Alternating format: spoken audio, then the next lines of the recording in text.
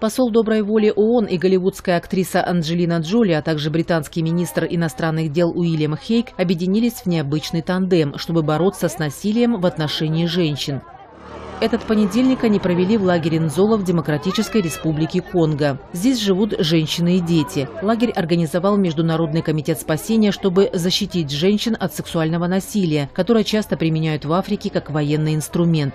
Здесь гостям показали наборы с вещами первой необходимости, которые должны максимально сократить потребность женщин покидать лагерь. Например, плиты, благодаря которым уже не придется выходить за пределы территории, чтобы собирать древесину для костра и приготовления пищи.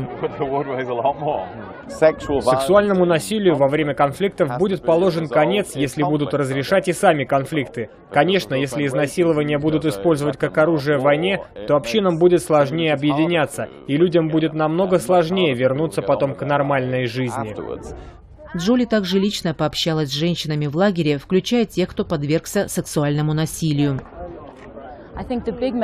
Я думаю, суть не в том, что была создана эта инициатива, а в том, что мы говорим об этом. Мы стараемся обратить внимание всего мира на эту проблему, и сейчас для этого очень подходящее время.